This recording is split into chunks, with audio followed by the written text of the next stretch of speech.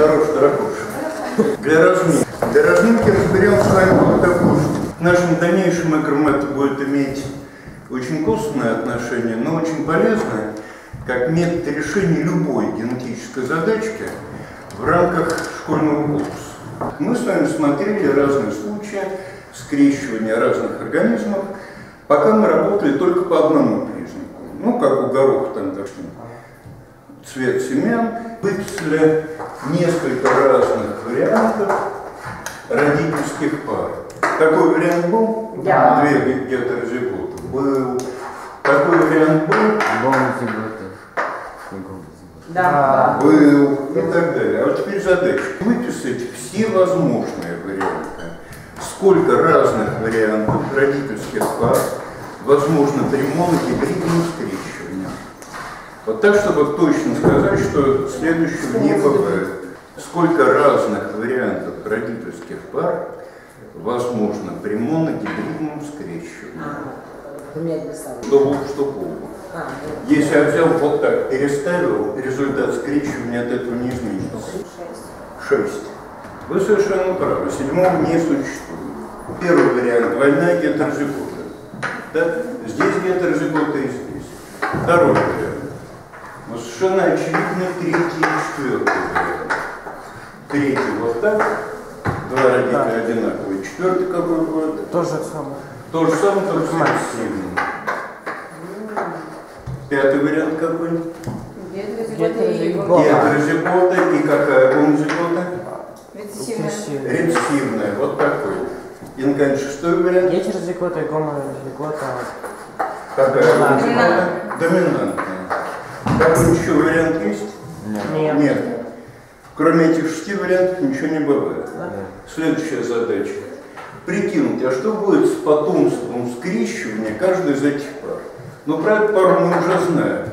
Здесь все потомство одинаковое или нет? Нет. Нет. Нет. Расщепление в каком соотношении? Три к одному. Примерно 3 к 1. Да, этот вариант мы тоже обсуждали. Потомство разное или одинаковое? Одинаково. Одинаковое. Такой вариант в генетике обозначается значком без расщепления, БР. То есть все дети одинаковые. Итак, какое-нибудь еще расщепление, кроме 3 к 1 бывает? Один к одному. Один к одному. По счету э, вот на доске. Пятое. Ага. Вот в этом варианте расщепление один к одному. Во всех прочих вариантах, Без расщепления. во всех прочих вариантах без расщепления. Итак, во всех прочих вариантах все дети одинаковые. Усложняем задачку. Вот этот случай сразу исключим по одной простой причине. Здесь оба родителя э, рецессивная гомозигота. А чем отличается рецессивная гомозигота от всех остальных существ? Но вот вспоминайте задачу о мышах. Да, конечно.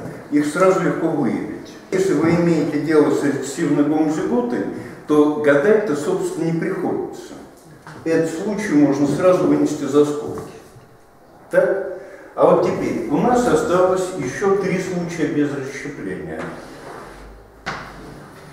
Вот они. Смотрите на них, что между ними общего.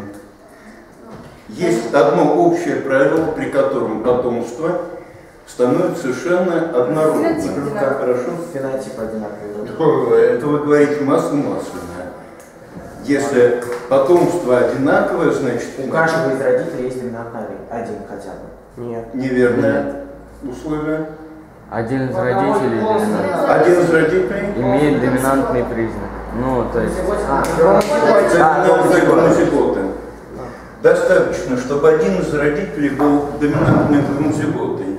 При этом важно или не важно, какой второй родитель. Не важно. Совершенно не важно. Доминантная гомозигота по-любому отдаст доминантный аллель. И в результате в образовавшейся оплодотворенной яйцеклетке будет доминантная программа? Да. Будет. Так. Ребят, совершенно гениальная возможность рассчитывать генотипы по внешнему виду. Вот есть у вас данные о размножении некоторых живых существ. На них же не написано, какие у них генотипы. Не написано, а данные по размножению есть. Если вы знаете, что данный признак у потомства расщепился один к одному, значит, по этому признаку какие были родители? Один гетерозигот, другой. Один гетерозигот, второй рецессивный гомозигота. Причем рецессивную гомозиготу всегда можно отловить. Да. Хорошо. А теперь? Теперь вот эти три случая без расщепления. Ну, потому что если три к одному, то это оба гетерозигота. Если один к одному, мы только что обсудили. Три случая без расщепления. Все дети одинаковые. Вот оказывается, э, один из них все-таки можно отличить от всех остальных. Значит, второй. В чем будет особенность второго случая? Он следующий. Вот эта родительская пара одинаковой внешности или нет? Нет. Нет. В случае, когда родители разные по этому признаку, а все дети одинаковые и подобны одному из родителей, это значит какой случай? Именно вот этот. Дети окажутся подобны доминантному родителю. А вот в этих случаях, смотрите, оба родителя какие? Внешне отличаются или нет? Нет. Они внешне не отличаются. Вот эти два случая отличить друг от друга реально сложно. Ну, можно по, ну, по следующему поколению по Да, да, да, надо уже дополнительные Да. исследования проводить. Так? Таким образом, вот он базовый механизм работы генетики. Мы наблюдаем внешние признаки у потомства, да? и по этим внешним признакам делаем заключение о генетических программах. А если мы выяснили, какая генетическая программа, можно ли в свою очередь сделать прогноз на возможное потомство? Да. Да, конечно. Примерно так и работает генетика. Только вы учтите, ребят, что это мы с вами разобрали только простейший случай. Скрещивание по одному признаку, так? и, э, соответственно, исследование результатов скрещивания по одному признаку. Вот. И в самых простых вариантах взаимодействия. Но далеко не во всех случаях признаки э, наследуются по такой простой схеме. Да. Существует ситуация, когда один ген определяет не один фен, а целую серию фенов. Или наоборот, когда, чтобы построить некоторый фен, недостаточно работы одного гена. Вот эти варианты уже не описываются менделевской генетикой. Это более сложное наследование.